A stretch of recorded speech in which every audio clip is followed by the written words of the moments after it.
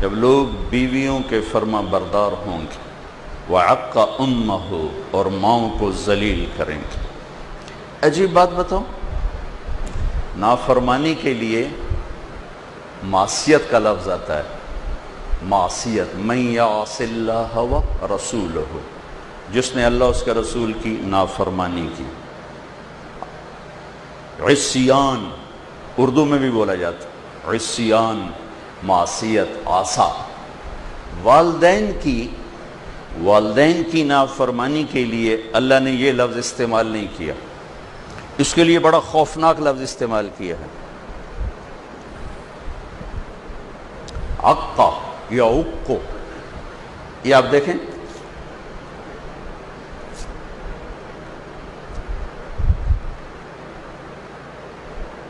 اس سے آگے یہ پھٹ نہیں سکتا۔ میں نے ایک چھوٹے سے پیپر کو پرزے پرزے کر دیا ہے جڑ نہیں سکتا، جڑ نہیں سکتا۔ اقا امہ، اقا والدہ۔ ماں اور باپ کی نافرمانی۔ لفظ کیا ہے؟ حقوق حقوق کا مطلب کیا ہے؟ جس نے ماں اور باپ کو دکھ دیا، وہ یوں ٹکڑے ٹکڑے ہو جائے گا جیسے پرزا ٹکڑے ٹکڑے ہو کے جڑ نہیں سکتا۔ یہ جڑ جائے گا چونکہ یہ موٹے ٹکڑے پڑے ہیں۔ یہ نہیں جڑے گا کہ یہ پرزے پرزے ہو گیا جس کو ہم کہتے ہیں کرچی کرچی کر دیا ہے۔ یہ نہیں جڑے گا۔ میرے نبی سے پوچھا گیا، یا رسول اللہ، قیامت کب آئے گی؟ کا اللہ کو پتا ہے۔ کا نشانی کا جب ماؤں کو ذلیل کیا جائے گا، قیامت آ جائے گی۔ حالانکہ قیامت تو آئے گی جب کفر پھیلے میرے نبی کہہ رہے ہیں، جب ماؤں کو ذلیل کیا جائے گا باپ کا نام نہیں لیا، ماں کا نام لیا۔ جب ماؤں کو ذلیل کرنے والی اولاد ہوگی، اور خاص طور پر بیٹیاں، بیٹی کا خاص طور پر ذکر کیا کہ خاص طور پر جب بیٹیاں بھی ماؤں کو ذلیل کریں گی تو ڈنگ کا بچ جائے گا، کیا مت کیا مت آ جائے گا آپ نے کہا، جس نے ماں باپ کو دکھ دیا، اس پہ اللہ کی لانت اس پہ فرشتوں کی لانت اس پہ زمین آسمان کی لانت نہ اس کی نماز قبول ہے، نہ روزہ قبول ہے، نہ صدقہ قبول ہے۔ اور آپ نے فرمایا، کاش میرے والدین زندہ ہوتے اور نہیں تو ماں ہی ہوتی، چونکہ ماں کو دیکھا ہے، باپ کو دیکھا نہیں۔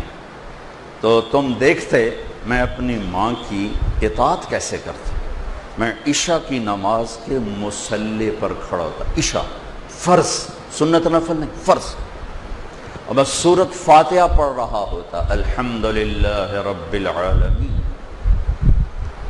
ادھر سے میری ماں کہتی، محمد، تو میں نماز توڑ کے کہتا، لبیک اما جی میں نماز توڑ دیتا۔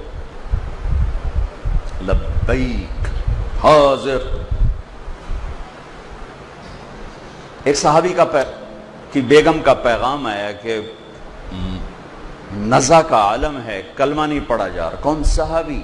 صحابی کون ہے اللہ اللہ نے قرآن میں کہا، کلن وعد اللہ الحسنہ اے میرے محبوب، آپ کے جتنے صحابہ ہیں، پہلے دن سے لے کر آخری دن تک جو ایمان لائے، سب جنتی ہیں، میرا وعدہ ہے۔ اللہ نے کہا، میرا وعدہ ہے۔ کلن وعد اللہ الحسنہ سب کے لیے میرا جنت کا وعدہ ہے۔ میں نے ان کی خطائیں معاف کر دی۔ آپ تیزی سے گئے، ان کا نام تھا القمہ آپ نے فرمایا، بیٹا، کلمہ پڑھو۔ کہا جی پڑھا نہیں جا رہا۔ بول رہے ہیں۔ یہ نہیں کہ سکرات ہیں اور زبان بند ہے۔ یا رسول اللہ، نہیں پڑھ پا رہا۔ تو ہم نے کہا، کون زندہ ہے والدین میں سے؟ کہا جی ماں۔ کہا، ناراض ہے؟ کہا جی کہا، بولو۔ تیزی سے آئیں۔ کہا، ام القمہ بیٹے سے ناراض ہو۔ کہا جی کیا ناراضگی ہے؟ سنیے گا غور سے کہ یا رسول اللہ، بہت نیک بچہ ہے، راتوں کو اٹھتا ہے نوافل کے لیے، دن میں روزہ رکھتا ہے، لیکن مجھ سے بولتا ہے تو بدتمیز ہو کے بولتا ہے، بس سخت لہجے میں بولتا ہے، کبھی میٹھا بول اس نے میرے لیے نہیں بولا۔ ہمیشہ تنک کے بولتا ہے سخت ہو کے بولتا ہے۔ نافرمانی کوئی نہیں ہے۔ زبان کی شدت نے دل دکھا دیا۔ اور کہاں تک پہنچا کہ صحابی ہو کے کلمہ نہیں پڑھا جا رہا، نبی کہلوانے والے اور صحابی کہنے والے اور نہیں پڑھا جا رہا۔ ماں پیچھے کھڑی ہوئی۔ آپ نے کہا، معاف کرو گی؟ کہا، یہ نہیں، میں نہیں معاف کرتا۔ کہا، اسے اگر میں آگ میں جلاؤں، سفارش کرو گی؟ سفارش کرو گی کہا جی کروں گی اتنا تو میں نہیں چاہتا۔ کہ پھر دیکھو اگر تم نے معاف نہ کیا، یہ سیدھا جہنم میں جائے گا، اللہ کی آگ میں جائے گا۔ تو میری آگ اللہ کی آگ سے بہت تھوڑی تو کہ اچھا یا رسول اللہ، میں معاف کرتی ہوں۔ تو آپ نے کہا، بیٹا، کہو لا الہ الا اللہ۔ زبان سے نکلا، کلمہ اور ساتھ ہی جان نکل گئی۔ پھر آپ نے اس کا جنازہ پڑھایا اور اس کے بعد اس کے دفن کے بعد آپ نے اعلان فرما، جو میں نے پہلے آپ کو عرض کیا کہ آپ نے پھر کہا، لوگوں، جس نے ماں باپ کو دکھ دیا، ان پہ اللہ کی لانت فرشتوں کی لانت زمین آسمان کی لانت نہ نماز قبول ہے، نہ روزہ قبول ہے، نہ صدقہ قبول ہے۔ وہ وکیل ہو، وہ جج ہو، وہ مولانا ہو، وہ تاجر ہو، وہ ذمہ دار ہو، وہ ڈاکٹر ہو، وہ انجینئر ہو، وہ ان پڑھ ہو، وہ بیٹی ہو، وہ بیٹا ہو۔ اگر ماں باپ دکھی ہیں تو خطرے کا الارم بج رہا ہے۔ ہاں ایک شرط، اگر نافرمانی کا کہیں اللہ کی، پھر اطاعت نہیں۔ ماں باپ ہی کہیں رشوت لے کے آ۔ ہمارے تبلیغ کی وجہ سے بہت سے نوجوان داڑیاں رکھتے ہیں، ماشاءاللہ، چھوٹی عمر میں۔ ماں باپ پیچھے پڑ جاتے، تیری کوئی عمر داڑھی رکھن دی؟ تیری کوئی عمر داڑھی رکھن دی؟ یہ اطاعت حرام ہے۔ یہ اطاعت حرام ہے۔ اطاعت صرف اللہ کی فرما برداری میں ہے۔ نہ فَوَإِن جَاهَدَاكَ عَلَىٰ أَن تُشْرِكَ بگڑا ہوا انسان عالم بنا تو اس نے فرقہ واریت میں اتنی آگ لگائی کہ مسلمان مسلمان کو کافر کہنے لگے، قتل کرنے لگے، سلام کرنا چھوڑ گئے، مسجدیں اپنی اپنی بنا لی، ایک دوسرے کے پیچھے نمازیں پڑھنا چھوڑ دیا، ایک دوسرے کو سلام کا جواب دینا چھوڑ دیا۔ اگر ساری امت ہی ان فتووں کے مطابق تسلیم کر لی جائے تو پھر تو مسلمان ہے ہی نہیں، کیونکہ میری نظر میں آپ کافر ہیں اور آپ کی نظر میں میں کافر ہوں، تو پھر مسلمان ہیں کہاں اس کائنات میں؟ تو یہ تو ایک حکایت ہے، میں آپ کو حدیث سنا دیتا ہوں کہ دنیا میں بگاڑ کب آتا ہے۔ میرے نبی نے فرمایا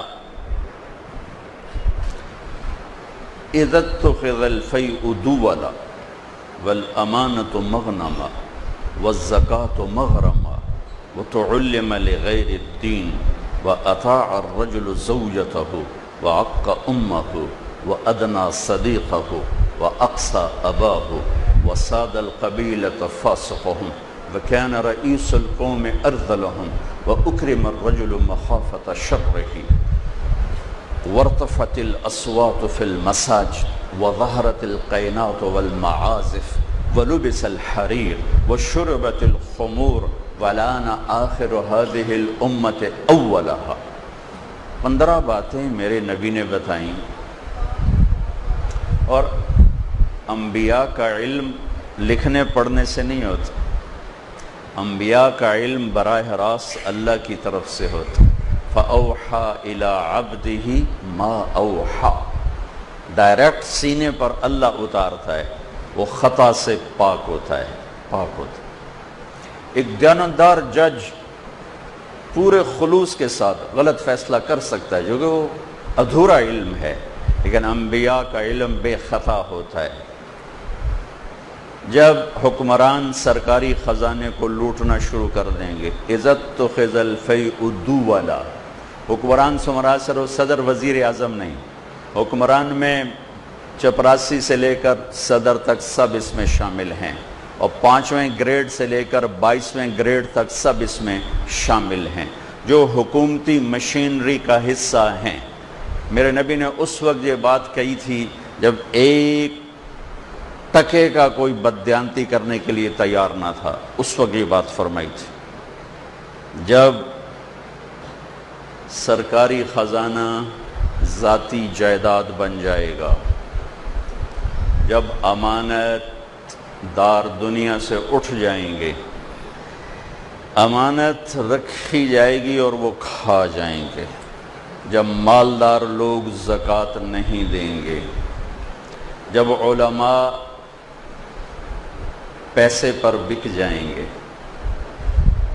جب علماء پیسے پر بک جائیں گے۔ جب لوگ بیویوں کے فرما بردار ہوں گے اور ماؤں کو ذلیل کریں